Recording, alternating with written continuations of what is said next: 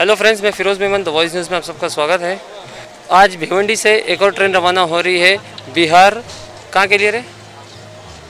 मधुबन। हाँ। आज भिवंडी से एक और ट्रेन रवाना हो रही है बिहार मधुबन के लिए।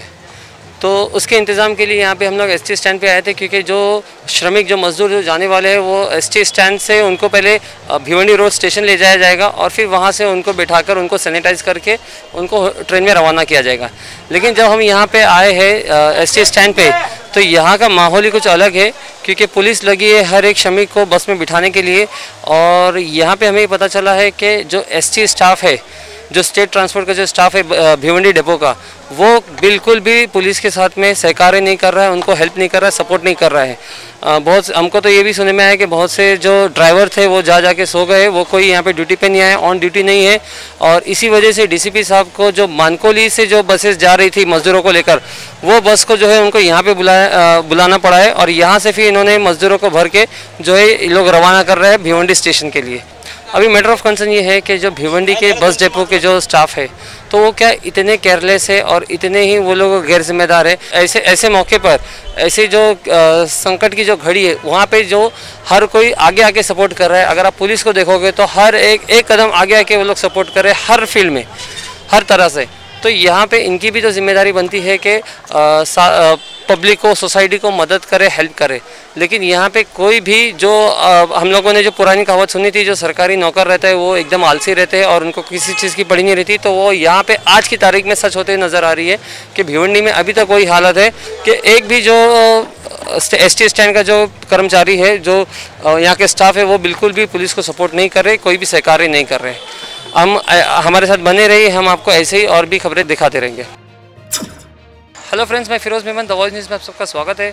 अभी अभी हमने कुछ देर पहले भिवंडी बस बस स्टैंड पे न्यूज़ कवर की थी। वहाँ पे लोगों को बस में बैठाकर भिवंडी रोड स्टेशन ले जाया जा रहा था। वहाँ से बिहार के लिए ट्रेन रवाना होगी।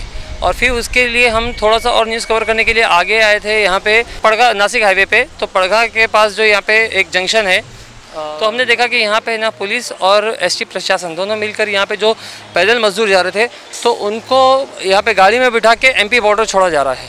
मतलब जो भी पैदल जा रहे हैं तो किसी को पैदल यहाँ पे चलने नहीं दिया जा रहा है। यहाँ पे एसटी प्रशासन और पुलिस दोनों के तालमेल से, दोनों के सहकार्य से यहाँ पे ये काम काम को अंजाम दिया जा रहा है कि यहाँ पे अभी तक सुबह से छः बस निकल चुकी है और यहाँ पे अभी और दो बस निकलने वाली है। एक बस में सिर्फ़ 25 लोगों को बिठाया जा रहा है और ये पूरा के पूरा मुफ़्त है। मतलब हमने देखा था जो कल परसों रात में हमने जो न्यूज़ कवर की थी, उसमें जो ट्रक वाले हैं, सबको एक एक आदमी से तीन तीन हज़ार चार चार हज़ार रुपया ले रहे थे ले जाने का। लेकिन यहाँ पे पूरी सेवा मुफ़्त है यहाँ पे आप देख सकते हो कि सभी को जो और, जो सामाजिक कार्य करने वाले उन्होंने इनको जो है कुछ खाना और पानी की बोतलें भी बांटी है और अभी यहाँ पर इनका थर्मल स्कैनिंग होकर इनको बस में बैठाने का आदेश दिया जा रहा है। आप देख सकते हैं किस तरह से यहाँ पे पूरा एक अलग से ही पूरा एक प्रोसेस है। दो तीन बस खड़ी है और कुछ लोग वहाँ पे भी है, हम देखेंगे वहाँ पे कि कुछ लोग अभी तक के उनको वेटिंग में रखा गया है कि वो कल कल की बस में जाएँगे। क्योंकि अभी जो आज जितनी बस अवेलेबल थी तो वो आज के आज का कोटा पूरा हो गया। अब जो कल नई बसेस आएगी तो उसमें उन लोगों को भेजा जाएगा। लेकिन एक बात मैं बता दूँ यहाँ से किसी को पैदल जाने नहीं दिया जा रहा है। हमारे साथ बने रहिए, हम आपको ऐसी ताज़ा खबरें पहुंचाते रहेंगे। और हमारे चैनल को सब्सक्राइब करना ना बोले मैं फिरोज़ मेमन कैमरामैन फ़खरुद्दीन और जैद आलम के साथ में थैंक यू